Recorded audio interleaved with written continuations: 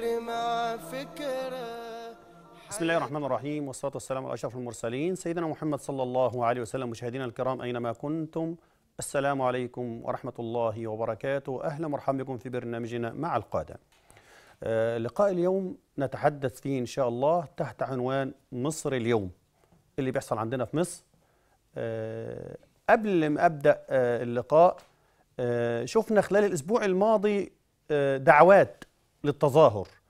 والعجيب آه، سموها جمعة الغضب. إذا كان النبي صلى الله عليه وسلم أوصانا بعدم الغضب فلماذا نطلب جمعة الغضب؟ النبي صلى الله عليه وسلم آه، لما بيسأله أحد آه، قال له لا تغضب لا تغضب لا تغضب. لأن الإنسان لو كان في حالة غضب سيذهب العقل. وفعلا اسم على مسمى كل من دعا لجمعة الغضب لا عقل له.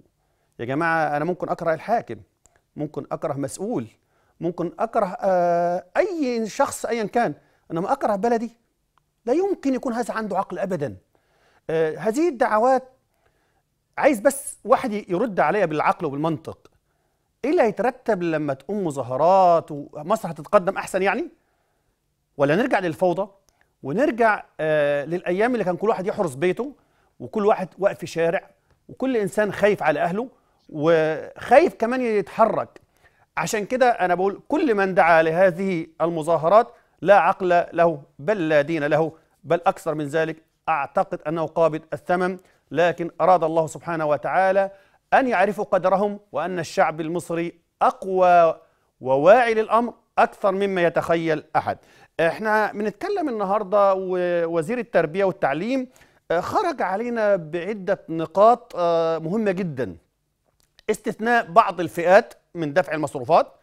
على العلم إن آه، حتى هذه اللحظة لم نعرف المصروفات كم. آه، الدراسة بعد أسبوع المدارس الخاصة بتطلب إن دفع الأقساط. أدفع أقساط إزاي؟ وأنا مش عارف ال- المبلغ كام. لسه الوزارة ما نزلتش على السيستم.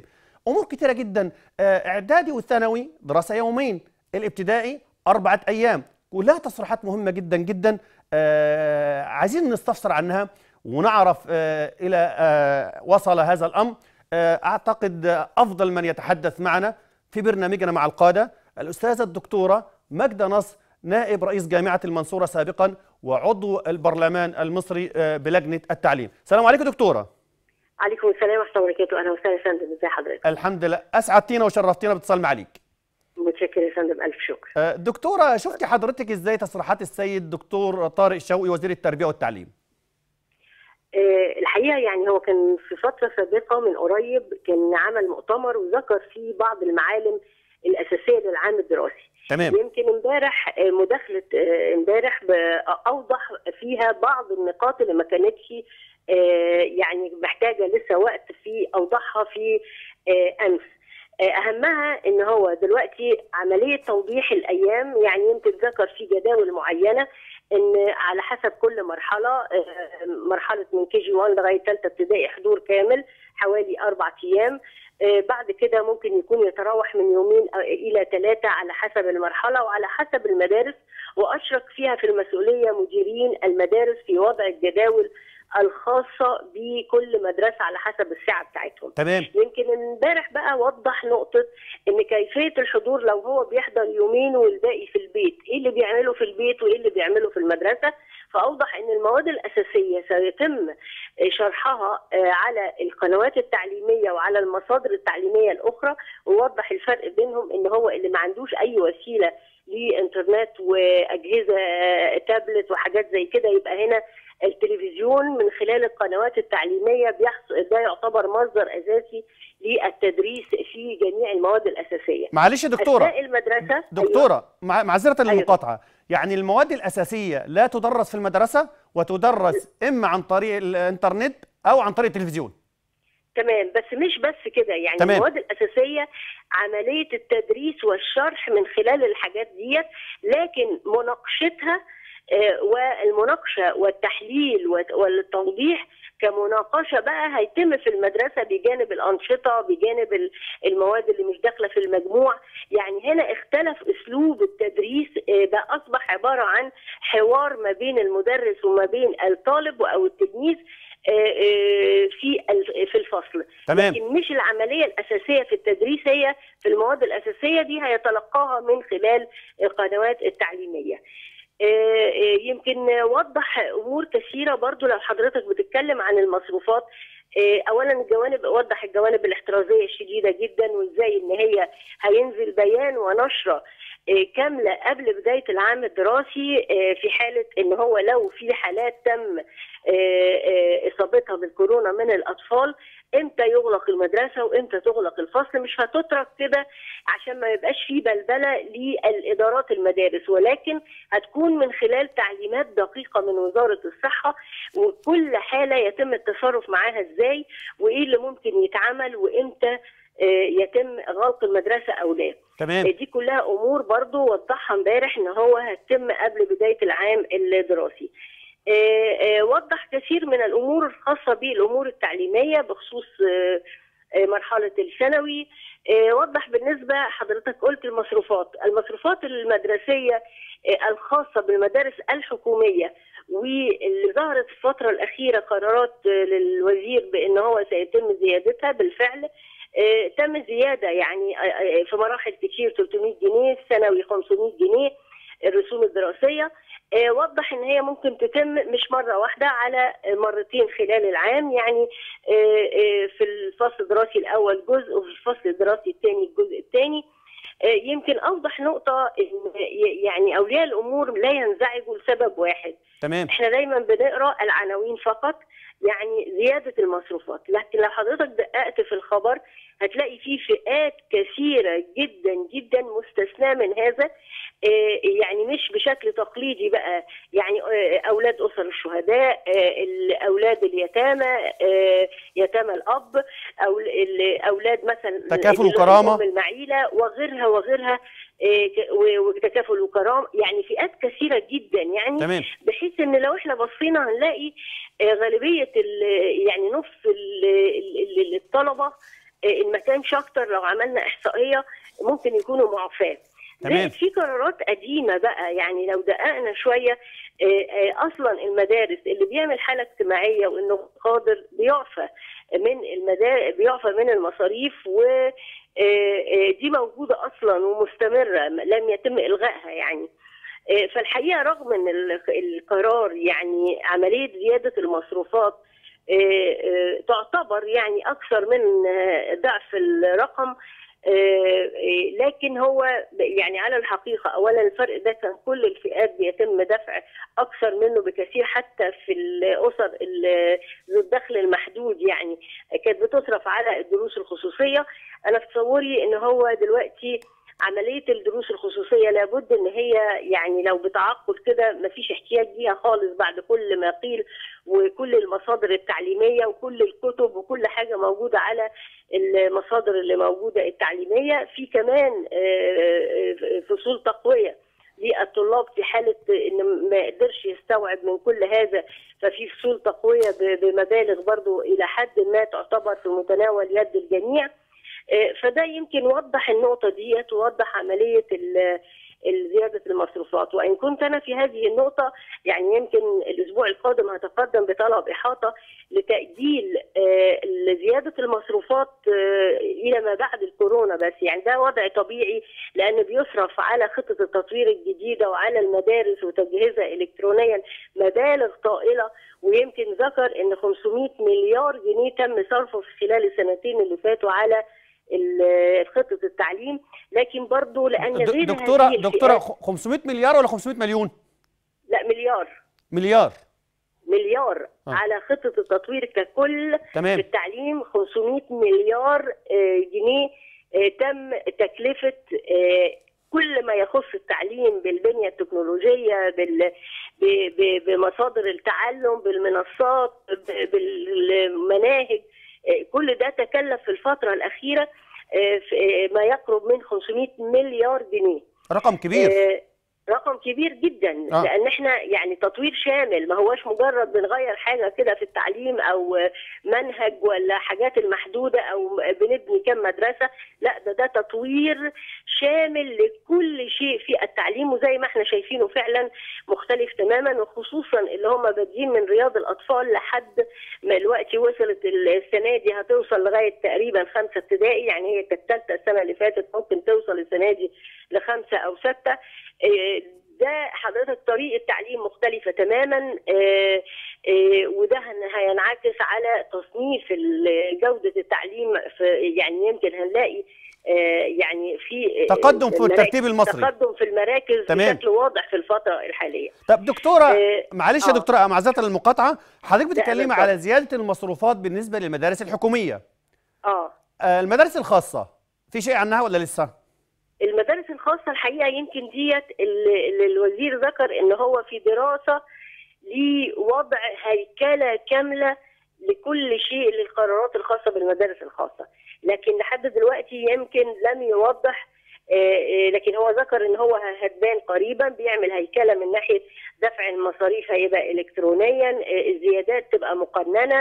آه، يعني ذكر بعض الحاجات ولكن كلها لم يعلن عنها. ففعلا المدارس الخاصة الجميع قلقين جدا وإن في مطالبات بشكل كبير آه، ان يدفع حتى السنة. في بعض المدارس بيجي لنا شكاوي إن عايزين آه، يدفعوا مقدم السنة مثلا كلها أو الفصل الدراسي كله. بالفعل آه، وبيتصلوا و- على اولياء الأمور حاليا. وكمان آه أيوه وكمان زادت المصروفات. يعني هذا العام في ظل الكورونا وفي ظل الحضور لأيام مثلا آه، مش كاملة ومع ذلك في بعض المدارس آه، تم زيادة المصروفات بشكل ملحوظ جدا جدا. وده اللي هو يعني يمكن الوزير في النقطة ديت لسه لم يصرح بشيء واضح لكن قال إن هو بيعاد هيكلة آه، قرارات منظومة التعليم الخاص والتعليم الدولي بشكل عام. وده هيعلن عنه برضه في القريب العاجل يعني ممكن في خلال ال- بس ده يمكن هياخد ممكن يكون السنة القادمة يعني في نهاية العام القادم هو ال- اللي المنظومة دي كلها ممكن تنتهي يعني ده مش هيكون قبل الدراسة يعني فده اللي ذكره الوزير الحقيقة يعني. آه، دكتورة ماجدة سؤال أخير شخصي شوية. أيوه. دكتورة مجدي إن شاء الله نازلة انتخابات. لا الحقيقة أنا الفترة القادمة يعني مش هكون في الانتخابات إن شاء الله. خسارة كبيرة. خسارة والله بجد. آه على العموم إحنا يعني بنشارك في خدمة ال- الوطن من كل الجوانب بصرف النظر إحنا جوه البرلمان أو خارج البرلمان. فده إن شاء الله اللي هيكون العطاء يمكن يكون أزيد وتفرغ أكتر وإن شاء الله يعني آه، يكون في مجهودات كبيرة برضو معمولة في التعليم بحكم خلفياتي يعني كلها تعليم يعني. والله يا دكتورة آه، حضرتك ما طلبتش مني حاجة لكن أنا بعمل مناشده للسيد رئيس الجمهورية أنا في أشخاص كده هنخسرهم في البرلمان القادم دكتورة ماجدة نصر إن لم تكن نائبة فمن يكن النائب خاصة بالتعليم؟ فمناشده للسيد الرئيس الجمهورية تكون الدكتورة ماجدة نصر ممن يتم تعيينهم.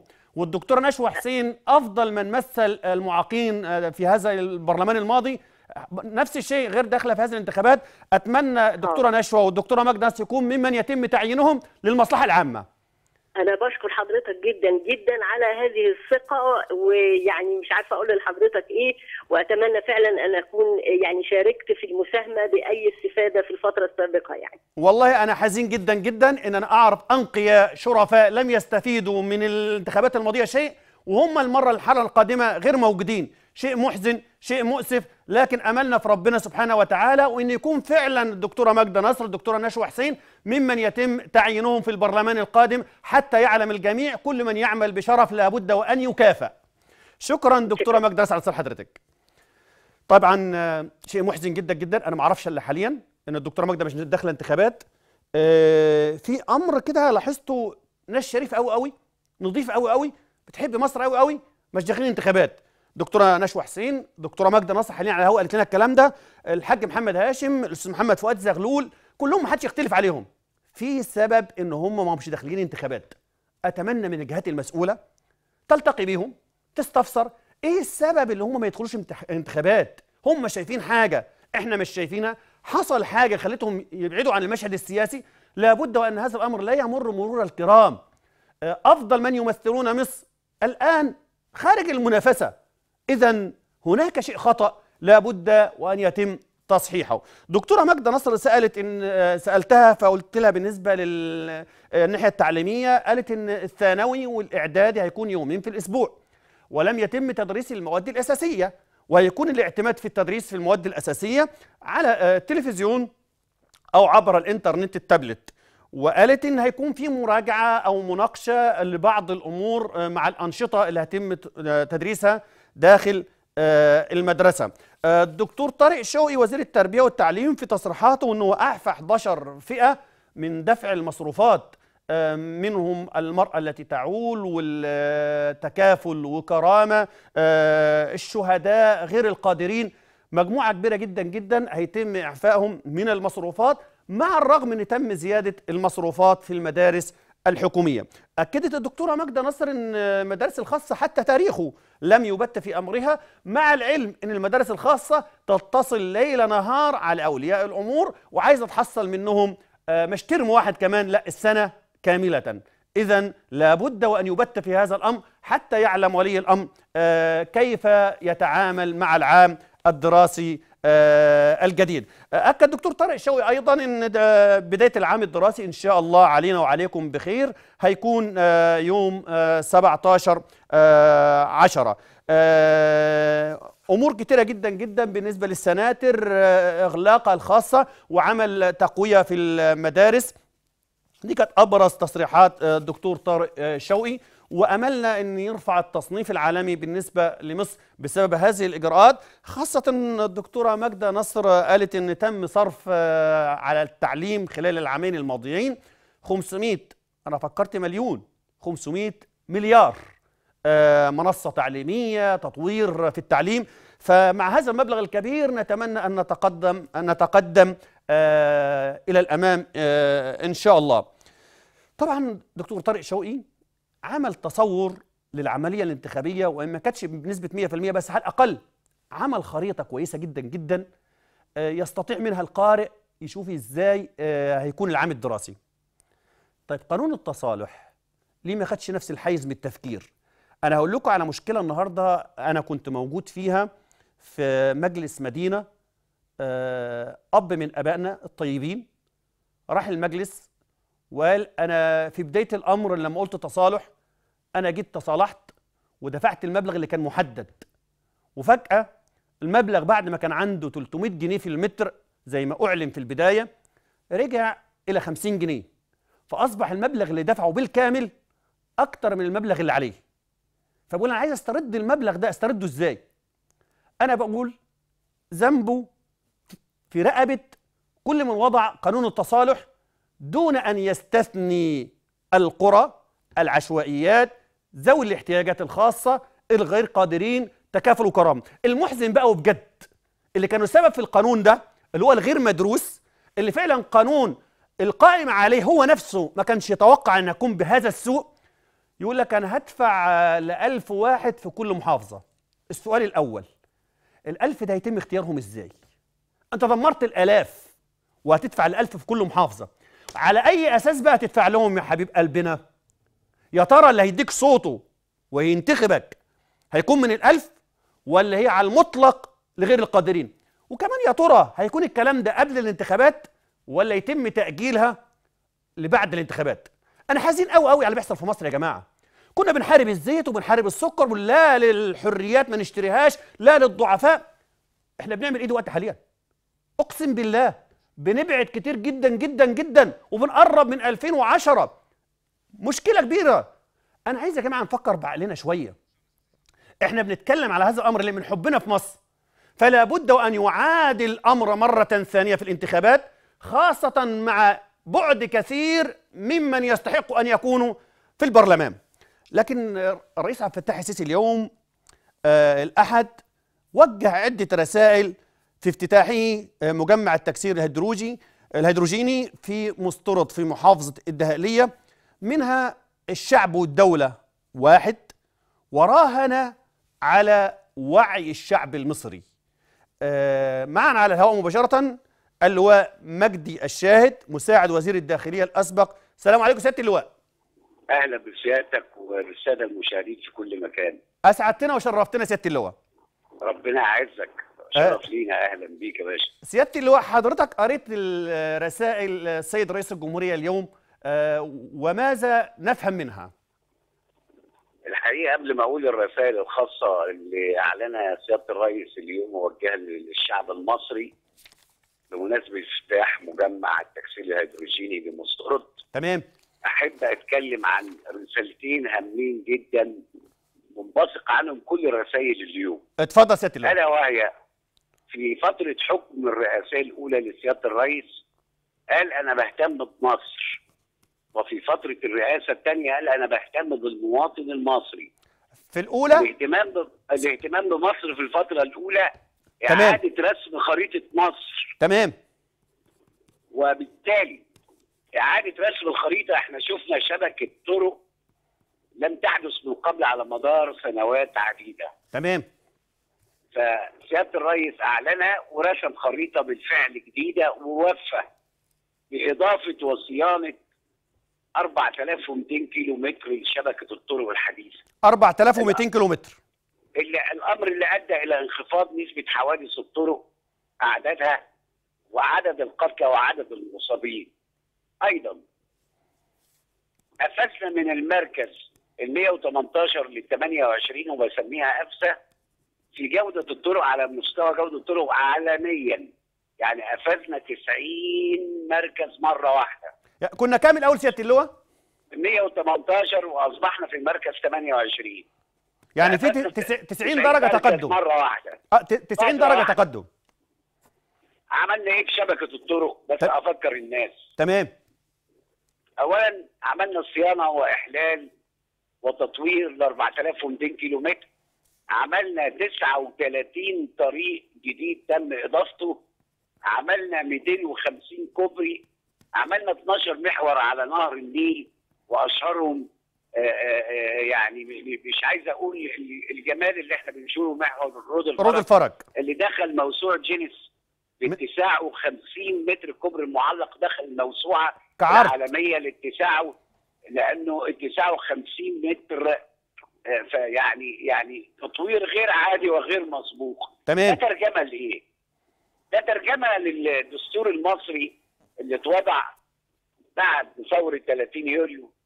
الدستور اللي قال لابد من تحقيق رخاء اقتصادي ولابد من تحقيق العدالة الاجتماعية. تمام. أيضا رؤية مصر 2030 في التنمية المستدامة اللي ليها عدة محاور اقتصادية وسياسية واجتماعية اللي قال فيها لابد من الاهتمام بالعنصر البشري. ودي ترجمة للاهتمام بالمواطن المصري. قال لابد من إنه أتخذ مبدأ الشفافية وإظهار الحقائق. قال إنه لابد من إعادة تقديم الخدمات بتوزيع عادل على مستوى مصر كلها محافظات مصر كلها. وشفنا إحنا الطرق الجديدة كلها متمركزة في منطقة الصعيد ووجه بحري. المواطن بعض المواطنين أصحاب الشر أصحاب الشر ومن أهل الشر بيقولوا استفدنا إيه من شبكة الطرق. تمام. أقول له يا أستاذ الفاضل إحنا عملنا شبكة الطرق. سؤال سؤال ودخلنا فعلا المدن. سؤال يطرح على كثير الألسن- من الألسنة. ماذا استفادت مصر من هذه الطرق؟ إجابة حضرتك سياده أرد عليه بقى وأقول له اتفضل. أقول له يا فندي يا من أه يا, يا أهل الشر سياده الرئيس اعلن صراحة انه سوف يكون هناك مش تطوير للطرق فقط وانما استثمار المناطق المحيطه وخلق مجتمعات عمرانيه جديده. لما خلقت مجتمعات عمرانيه جديده مش المواطن العادي راح ولا ما راحش؟ واستلم شقه مكيفه وباساس ولا ما استلمش؟ لما أقول له ان أنا آه، آه، في الطرق الجديده زياده الاستثمارات هو عائد الاستثمار مش عاد عليه في المقررات التموينيه وفي الص- وفي الصحة وما حدث في الصحة وما حدث في الصحة من إطلاق عدة مبادرات في مجال الصحة وخاصة في مجال مكافحة فيروس فيروس سي. وبالتالي استفاد المواطن العادي بزيادة الدخل القومي وبخلق مدن جديدة وبمواجهة ال- ال- العشوائيات ويعني استفدنا غير استفادة غير عادية. يعني سيادة اللواء سياده اللواء مثلا آه. يعني حضرتك عايز تقول إن زيادة الطرق أدت إلى زيادة المدن الجديدة. طبعا. تمام. أدت إلى استثمارات إلى تطوير. هذا الاستثمار في الدخل القومي عاد على المواطن العادي في مجال الصحة وفي مجال التعليم. وإحنا شفنا تقدم قد إيه في مجال الصحة والتعليم. تمام. وبالتالي سيادة الرئيس اهتم برسم خريطة مصر. المواطن المصري نالوا الاهتمام زي ما سياده الرئيس قال في الفترة الثانية بهتم بالمواطن المصري. إحنا شفنا الاستخدام التكنولوجي في مجال المرور وفي عدة مجالات في الدولة وأصبحنا متحولين الرقم ال- الرقم يعني الحكومة الإلكترونية وأصبحت الخدمات تؤدى للمواطنين دون جهد أو أو عداء وبالتالي حصل طفرة شديدة جدا وطفرة اليوم في عدة رسائل من سيادة الرئيس. تمام. أول هذه الرسائل إن إحنا لازم نعي. إحنا قلنا قبل كده لما سياده الرئيس قال مش أنا لوحدي أنا وأنتم إحنا كشعب وكحكومة جهة واحدة لا ننفصل اطلاقا وخاصة في مواجهة الإرهاب اللي إحنا شايفينه اللي بيحاول كل مرة يعود في سياق جديد ولكن ملامحه الرئيسية ما زالت تواجهنا وتحققنا. نحن نعلمهم من رائحتهم من أقوالهم من أفعالهم. ويحاولوا إعادة الكرة لابد من زيادة الوعي لدى المواطن. لابد من تفعيل دور الإعلام وزيادة الوعي الإعلامي. تمام. لابد من لابد من افهام ال- ال- ال- ال- ال- الناس اللي على سجيتها لازم أفهمه من أعضاء مجلس النواب الخدمات اللي بتؤدى إليهم. لازم كل وزير يعلن استراتيجيته وقدم إيه للمواطنين. سيادة الرئيس قال أكتر من مرة لابد تقدموا كشف حساب للمواطن البسيط علشان يعرف إيه اللي بيتقدم له. فبيتقدم في جميع المجالات لابد ان كل مسؤول يطلع يشرح ماذا تم في فترة الرئاسية الأولى والثانيه هنجد إن المحصلة تحترم وإن كلام سيادة الرئيس لابد أن يحترم وهو كلام محترم لأنه صدر عن رجل محترم. يعني سيادة اللواء سياده المصري؟ سيادة اللواء يعني الإرهاب. تمام. ونريد به بانه هو شاف ما يحدث على قنوات أهل الشر وما يحدث من تكرار ونقل أحداث وتزييف أحداث ثورة يناير التخريبية وما علت على مصر بالتخريب. وبالتالي بنقول لهذه القنوات من المواطن المصري نحن نحن المواطنين المصريين أصبحنا مدركين تماما أنه لا مكان لوجودكم يا أهل الشر. وإنه مش الشرطة والجيش هم اللي هيتصدوا للإرهاب لا الشعب المصري كله بالكامل أصبح مؤهل لعدم السماح لهؤلاء مش بالعودة هم لن يعودوا هم ماتوا لن يعودوا. ولكن لمجرد التفكير في إنه أحد أفرادهم يحاول إن هو يقف في ميدان أو يطالب بإسقاط الدولة أو يعود بنا للخلف لأنه هم أعلنوا إنهم عايزين يسقطوا الكباري في خطتهم وإنهم يسقطوا المشاريع اللي تم انشائها على مدار السنوات السابقة من فترة رئاسة الرئيس. وبالتالي على المواطن المصري أن يعي. وعلينا إن إحنا نزود قدر الوعي لدى المواطن المصري وده دور لابد أن يقوم به أعضاء مجلس النواب بجانب الإعلام. آه، سيادة اللواء ويمكن السيد الرئيس لما النهارده بيقول بيراهن على وعي الشعب المصري. ده هو هو سيادته كلمة اراهن على الشعب أو وعي الشعب المصري معناها إن سيادته يدرك تماما مدى الوعي للشعب المصري وزي ما بقول لسيادتك إنه أهل الشر ادراكوا وعي الشعب المصري. ولذلك هم لن يعودوا لأنه مش هيتم مواجهتهم بالشرطة والجيش. المطلوب منهم كان الأول في ثورة التخريب انه يهدوا الروح المعنوية للشرطة والقوات المسلحة والقضاء ثم يتوجهوا لل- للش- لل- للشعب.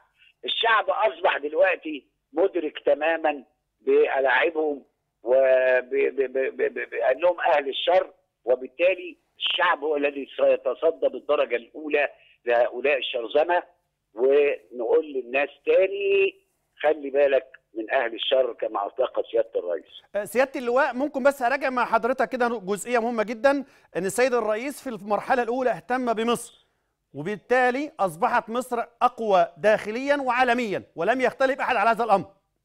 بنقول لسيادة الرئيس شكرا جزيلا على وفائك بعهدك فترة الرئاسة الأولانية اهتميت بمصر ورسمت خريطة جديدة. ووصلنا شكرا ليها. ل...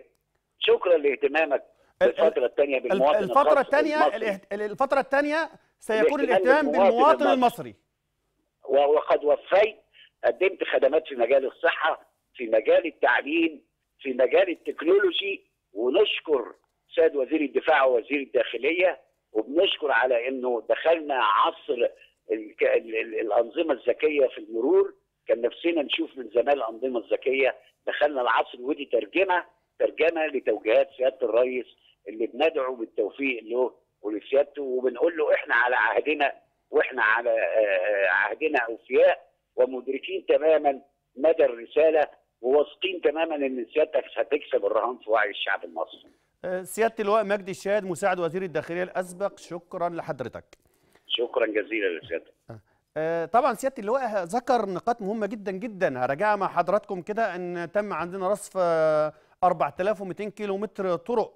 انخفاض الحوادث آه، عندنا في مصر بطريقة ملحوظة وتقدم مصر آه، من رقم 118 عالميا إلى 28 فرق 90 مرة آه، 250 كوبري تم إنشائهم. 12 آه، محور. آه، رؤية مصر 2030 آه، الاهتمام بالعنصر البشري. زيادة الطرق أدت إلى زيادة آه، في المدن آه، الجديدة وكذلك آه، في الاستثمار. آه، طبعا أنا حاجة مهمة جدا بنوع عنها. أنا كان في اتصالات المفروض آه، كنت بتابع معهم قبل الهواء بحوالي ساعة كده. آه، منهم الحاج علي آه، شحات من الفيوم. آه، لكن للأسف آه، تليفوني خلص مني شحن. ما عرفتش آه، فيش وقت عندي إن أنا أقدر آخد هذه الاتصالات. فبعتذر ليهم وبعتذر كان في كم من الرسائل جاية لي كتيرة جدا جدا آه، كنت براجعها على الواتس آه، كنت أتمنى إن أنا أقولها لأن الرسائل كلها في الصميم. من ناس لا بتاعت منصب منصب ولا جاه لكن حبها لمصر جعلها تتكلم هذا الكلام من قلبها. وبيقولوا إحنا عايزين صوتنا يوصل للسيد الرئيس آه، هو ليه بيتصدر المشهد السياسي؟ أصحاب المليارات وكل القرارات اللي بتتاخد آه، للأسف يجب أن تراجع. قانون المرور وما يتكبده الشخص عشان يستخرج رخصة كان مبلغ كبير. لما الناس اتكلمت تراجع المبلغ لأقل من الربع. قانون التصالح نفس الشيء. طب ليه أصلا قبل ما أخرج بالقرار وأعلنه أو بالقانون وأعلنه يتم دراسته؟ يا جماعة حاجة من الاثنين يا إما اللي أصدر القرار لا يدرك وغير محيط بالبيئة وبالناس وما ينفعش ياخد قرار. أو اللي أخذ القرار يعرف الأمر ده ومتعمد يحط الرئيس ويحط المسؤولين في هذا الأمر. في كلا الحالات هذا مر وهذا أمر منه. وفي الآخر عشان يظهر بالصورة الملائكية قدامنا يقول لك أنا هدفع لألف واحد. طب أنا هسأل سؤال لعامة الشعب. اللي احسن آه، معانا الأستاذ علي من الفيوم. السلام عليكم. السلام ورحمة الله وبركاته، ازيك يا دكتور؟ أهلا بحضرتك. ازي حالك؟ بخير الحمد لله. والله كان عندنا مشكلة كده في قرية فانوس آه، خلوصي، قرية فانوس طميه آه طبعا تبع آه، عزبة خلوصي. تمام. كنا معتمدين على موضوع الصرف وبتاع وكده البلد عندنا عايمة هنا. وشغل ترنشات وبتاع وشغل قديم كده. فالشوارع كلها غرقانة على طول فقدمنا على موضوع الصرف ده فقالوا لنا اتبرعوا لنا بحتة أرض وإحنا نتكل على الله نشتغل فيها. تمام عم جبنا اتبرعنا بالأرض ودفعنا ثمنها وبقالنا سنة ونص أهو. سلمنا جميع المسؤولين و ما حدش رد علينا حتى الأعضاء و كلهم ما حدش رد علينا. طيب آه حاج علي آه أتمنى تسيب لي رقم تليفون حضرتك في ال- في الكنترول إن شاء الله. هتابع مع السيد اللواء هشام درة ومع أيوه. نائب المحافظ الدكتور محمد عماد وبرنامج مع. القادة في اللقاء القادم بإذن الله يوم الاحد هيكون عندنا رد آه عن قرية فانوس طميه وعن آه، كثير من الأماكن اللي كان محدد ليها الانتهاء من الصرف الصحي زي سرسنه وفرقس والسعدية وقرية سيلة واللاهون والصالحيه والنصرية ثمان قرى. فشكرا ع- حاج علي وهتواصل مع حضرتك إن شاء الله بعد الهواء بإذن الله. آه طبعا نداء السيد المحترم اللواء هشام درة. كنت حضرتك وعدتنا بالانتهاء قريبا وكان الكلام برضو على السيد آه لسان السيد الدكتور أحمد أنصاري محافظ الفيوم. وأكد معانا ببرنامج مع القادة آه الدكتور محمد عماد الشاب المحترم الخلوق. الانتهاء من فرقس والسعديه وسرسنه في الصرف الصحي قريبا وتم رصد 200 مليون. وقرية سيلة بالاستفسار عنها قالوا إن تم إسناد العمل للجيش ولكن جاء مقاول ومشي مقاول فعاوزين نعرف إيه الوضع النهائي. هيكون الرد ده إن شاء الله معايا في الأسبوع القادم إن شاء الله. آه بالنسبة للحاج علي آه كنت خد رقم تليفونه وهتواصل معاه إن شاء الله بعد الهواء آه، أرجع تاني وأقول آه، قانون التصالح. اخدوا حاجة من الاثنين يا غير مدرك بالواقع وبظروف الناس لأنه عايش في برج عاجي ومش قريب من الناس أصلا واخد العضوية وقعد في مكان وعزل نفسه عن العالم وعن الشعب وعن عامة الناس وجاي يفتكرهم قبل الانتخابات ورايح يزورهم. فهو إذا كان بهذا الوضع ما ينفعش يكون نائب. حاجة تانية يا جماعة إحنا عندنا في الفيوم والفيوم بلد المفاجآت مع احترامي لكل الشعب المصري أنا هسأل سؤال وعايز حد قانوني يرد عليا. ينفع نائبة من محافظة غير محافظة الفيوم تدخل على القائمة عن شعب الفيوم؟ أنا ما وردتش عليا وما حصلتش في محافظة تاني. ليه يا جماعة أنتوا الدولة تنظر لهذه الفيوم بهذه النظرة؟ أنا لا ألوم الدولة بقدر ما ألوم القائمين على الأحزاب اللي سمحوا بهذا الأمر.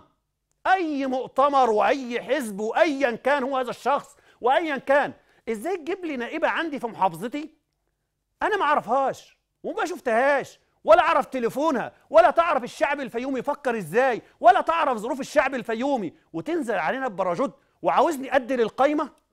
أي منطق أي عقل اولا أليس في الفيوم سيدات تستحق هذا المنصب؟ يشهد الله أن عندنا في الفيوم سيدات الواحدة منهم تستطيع أن تدير وزارة. مش تبقى نائبه ليه يا جماعة بتستقلوا بشعب الفيوم؟ لماذا هذه النظرة واللوم كل اللوم على أبناء الفيوم اللي هم شاركوا في هذه المهزلة؟ وتستبعد لي سيدات فضليات تستطيع الواحدة منهن أن تقود إن لم تكن دولة فوزاره ذكرت في الأسبوع الماضي أمثلة لماذا لا تكن من بين هذه الأسماء من يمثل شعب الفيوم. وقلت الاستاذه علياء الوزير قلت ال- المستشارة آه، راضيه إدريس آه، دكتورة نشوى حسين خير من مثل محافظة الفيوم وذوي الاحتياجات الخاصة. لماذا يتم استبعادها؟ لصالح من؟ ثم تعالى هنا بقى. يعني إيه؟ عائلات وشلة يقعدوا مع بعض ويصدروا لنا أشخاص معينة وهو دول. يا تنتخبوا دول يا مش لاعبين. على أي أساس؟ لماذا تستهزئ بي؟ وبإرادتي. ألم تكن 2010 تغيير مسار في مصر؟ لماذا العودة إلى نفس الخطة ونفس الأسلوب؟ شيء محزن. يا جماعة احترموا الشعب الفيومي. الشعب الفيومي أطيب وأنقى شعب. السيد الرئيس من كام يوم يشكر محافظ الفيوم لأن محافظة الفيوم من أفضل المحافظات دفع للمصالحات رغم إنها من أفقر المحافظات. الشعب الفيومي مسالم الشعب الفيومي طيب. أول ما سمعنا إن المصالحات الرس... كل واحد بدأ يستلف يتصرف يبيع رغم إن هم بسطاء ما همش أصحاب مليارات. وبدأ التصارع وزحمه على البنوك ودفعوا. أكثر من 40% ممن يجب دفعه في محافظة الفيوم تم دفعه في الأيام الأولى. شعب طيب شعب مسالم شعب بيحب البلد بجد. أيكن هذا التصرف مع الشعب الطيب ولا هو عشان ما حدش هيتكلم في الفيوم؟ هنفرض عليكم أشخاص حتى وإن كانوا من خارج محافظة الفيوم؟ يا كده يا ما فيش حاجة. أنا عايز حد يقول لي يا جماعة قانونية هذا الأمر. طب هذه النائبة مع احترامي وتقديري لها. لما يحب أبناء الفيوم يقابلوها يقابلوها فين؟ يروح لها محافظة قنا طب بلاش دي كمان. آه لما يكون عندنا بعض النواب ما بينزلوش الفيوم إلا في المناسبات. إزاي يكونوا النواب؟ نقابلهم إزاي؟ لما تجيب لي نائبة من خارج المحافظة أصلا وتنسى أو تتناسى أو تتعمد إن مركز زي مركز إقصى من أكبر مراكز محافظة الفيوم. هو آه في عدد السكان آه بس مش في السكان بس في القادة والسياسيين ورجال الأعمال والتعليم كل شيء متقدم هذا المركز. ولم يمثل بواحد فقط في القائمة عشان توفر أماكن للبهوات والبشوات واللي دفعوا المبالغ والملايين ومليارات. أي انتخابات؟ السيد رئيس الجمهورية استغاثة من شعب الفيوم. نريد نعرف لماذا يفرض علينا أشخاص لا نعرفهم ولا يعرفوا عنا شيء. لمصلحة من؟ هذا الأمر. الشارع الفيومي بأكمله يتساءل الآن كيف لنائبة من محافظة وهي على رأسنا وكل التقدير والإحترام لها كيف تمثل محافظة الفيوم وهي ليست من محافظة الفيوم؟ بل كيف يمثل ما يقرب من نصف القائمة حتى وإن كانوا من أبناء الفيوم ولم يسكنوا ولم يعيشوا في الفيوم ولم يأتوا إليها إلا في المناسبات؟ ثم نستبعد أشخاص يعملون مع القاصي ويعملون مع الداني وليل نهار أثبت الكل أنهم من أفضل الشخصيات وأفضل البرلمانيين في البرلمان الماضي. دكتور نشوى حسين. معانا الأستاذ أحمد من سوهاج. السلام عليكم أستاذ أحمد. حضرتك يا فندم ألو؟ أنا أنا دافع دافع من 80 وكنت واخد على سقف مباني 80 متر. أستاذ أحمد معلش. آه، آه، آه، اسمعني من الت- من التليفون وابعد شوية عن التلفزيون نعم. ابعد شوية عن التلفزيون واسمعني من التليفون لو سمحت. ماشي يا باشا أنا دلوقتي دافع مبلغ 16000 جنيه على مساحة 80 متر. ده في التصالح. في التصالح مش دلوقتي في في القديم زمان لما دفعت في المحضر. ماشي كان دفعت مبلغ كام؟ دافع 16000 جنيه. 16 على مساحة قد إيه؟ نعم على مساحة 80 متر. 80 متر تمام. فدلوقتي أنا لما عملوا قالوا قالوا لي تعمل قانون التصالح ده رحت عملت ورق ووردت في المجلس آه، 1000 جنيه آه، 500 لل 500 للمهندس اللي هيطلع يختبر واخد واخد من حضرتك طب حاج أحمد معلش حاج اسمعني بس واحدة واحدة ال ال- ال 80 متر دي مبنية في قرية ولا في مدينة؟ لا أنا وأنا في ورا مقابر لا يعني يعني تبع تبع- تبع وحدة محلية؟ تبع قرية؟ تبع تبع مركز أخميم لا هي آه تبع مركز هي ت- تابع لقرية قرية إيه؟ أخميم قرية يعني قرية. صاج. تمام. محافظه صاج لكن تمام. المركز نفسه اخميم تمام. لا- لكن أنا ساكن ورا المقابر. تمام. دلوقتي إحنا حاسبين هنا المتر 150 جنيه. وفي في أماكن ورا المقابر المتر ب 150 جنيه. تمام. يعني المنطقة عندنا هنا معدومة. يعني عامة إحنا المجال داخلين على حسابنا هنا هو. أنت دفعت 16000 جنيه على 80 متر. وتابع تمام. لقرية في مركز آه أخمين سوهاج آه آه مركز سواج محافظة سواج مركز اخميم ماشي شارع ربع العدوية إيه إيه المطلوب؟ إيه المطلوب يا حاج أحمد؟ المطلوب دلوقتي أنا يعني أنا دافع دافع 16000 المبلغ ال- ال- الباقي ده هو هيجيني ولا هيروح عليا؟ طيب آه اسمعني آه حاج أحمد من آه التلفزيون حاليا المشكلة دي أنا كنت ده, ده بيتكلم معانا من محافظة سوهاج أنا كنت في محافظة الفيوم النهارده الصبح عند الباشمهندسة نجاح رئيسه التنظيم ودخل عليها شخص بنفس المشكلة وبيقول لها آه، باشمهندسة أنا المطلوب مني أنا دفعت 29000 جنيه على أساس إن كان محطوط مبلغ كبير في البداية وهو آه كنترول بس ممكن توقف الاتصالات كده لو سمحت عشان ألحق أكمل بس المعلومة دي. آه قال دفع 29000 جنيه.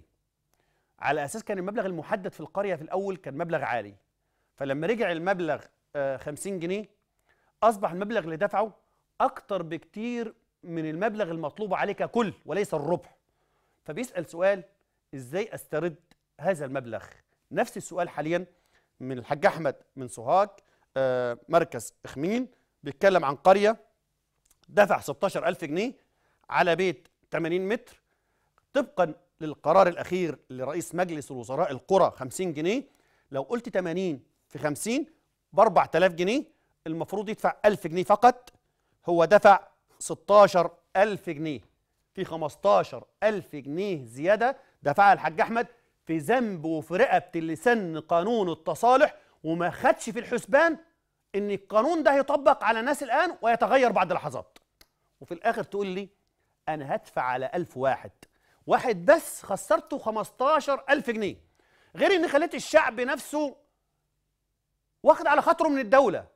بسبب من؟ سببك أنت. يلي عايز تصلح وتظهر بدور الملاك الآن أنت المخطئ. ده أنت المفروض ما تدفعش الألف واحد بس.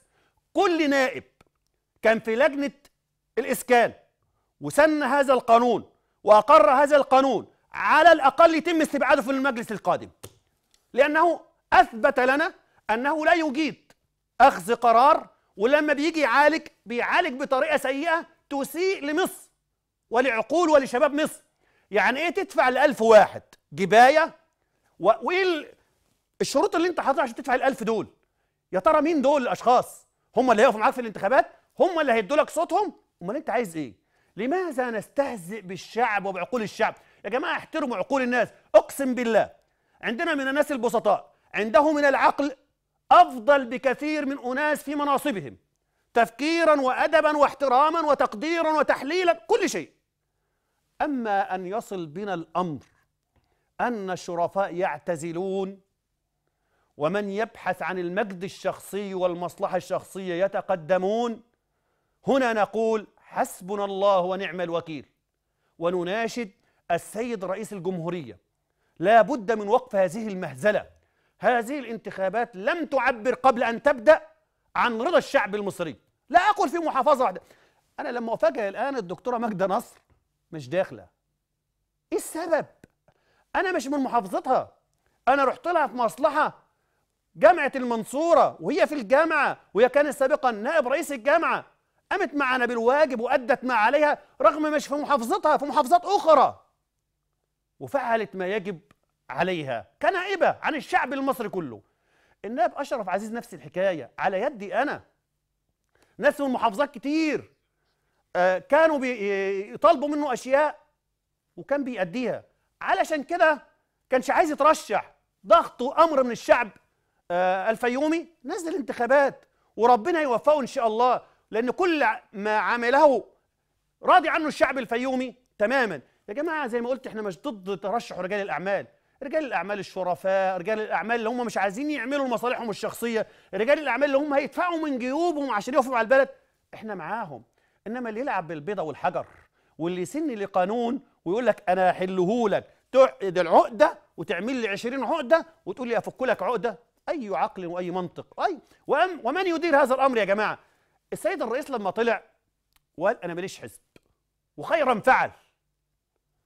وقال إن أنا مع الشعب المصري كله لا له عشيرة ولا له حزب.